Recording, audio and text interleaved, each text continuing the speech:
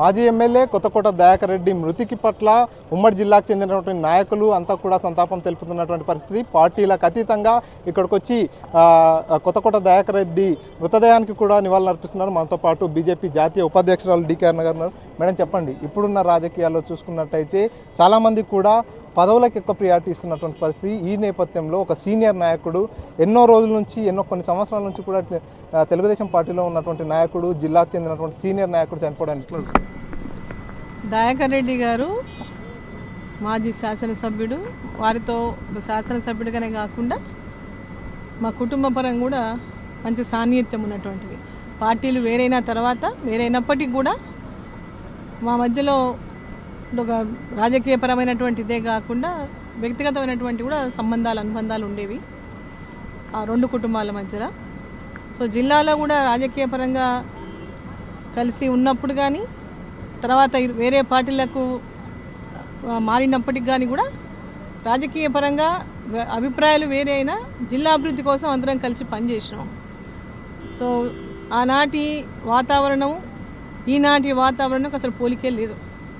రాజకీయాల్లో ఆనాడు ఉన్నటువంటి వాతావరణం ఈనాడు లేదు. ఆనాడు పార్టీలు వేరైనప్పటికీ కూడా జిల్లా అభివృద్ధే లక్ష్యంగా అందరం కూడా అన్ని పార్టీల వాళ్ళు కలిసి పనిచేసి జిల్లా అభివృద్ధికి కలిసి పనిచేసినాం కృషి చేసినాం. సో ఈరోజు దయాకర్ రెడ్డి గారు లేనటువంటి లోటు తీరని లోటు. సో జిల్లా రాజకీయాల్లో వారు కూడా ఒక మంచి నాయకుడిగా గుర్తింపు పొందిండ్రు. ఎమ్మెల్యేగా ఉన్నప్పుడు కానీ సీతమ్మ గారు జడ్పీ చైర్మన్గా ఉన్నప్పుడు కానీ సో వారి లేనటువంటి లోటు ఈరోజు తీరని లోటు. తప్పకుండా ఈ ప్రాంత ప్రజలు ఒక మంచి నాయకుని కోల్పోయినరు.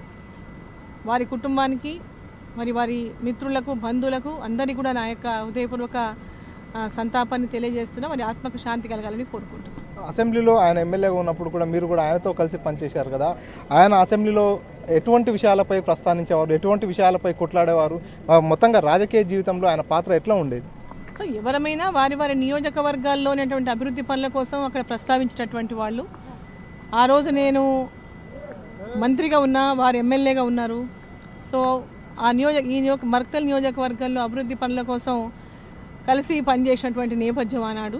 సో అదేవిధంగా ఆనాడు జిల్లా మంత్రిగా వారు మక్తల్ నియోజకవర్గానికి శాసనసభ్యుడిగా ఉన్నా అదేవిధంగా మరి ఈ యొక్క జిల్లా కోసం అనేక ఇష్యూస్లో కూడా ఇష్యూస్లో కూడా ఒకరినొకరు మాట్లాడుకొని జిల్లా అభివృద్ధి లక్ష్యంగా పనిచేసినాం అన్నాడు. మొత్తంగా దయాకర్ రెడ్డి జిల్లా రాజకీయాల్లో చురుకైన పాత్ర పోషించారు. ఎక్కడ సమస్య ఉన్నా ప్రజా సమస్యలపైనే అసెంబ్లీలో సైతం గొంతు విప్పినటువంటి నేత ఈరోజు ఉమ్మడి పాలమూరు జిల్లాలకు తీరని లోటు అని చెప్పవచ్చు అంటూ మాజీ జీ మాజీ మంత్రి డీకే అన్న తెలియజేస్తున్నటువంటి పరిస్థితి. పర్సన్ సీనుతో మణికంఠ ఆర్టీవీ మహబూబ్నగర్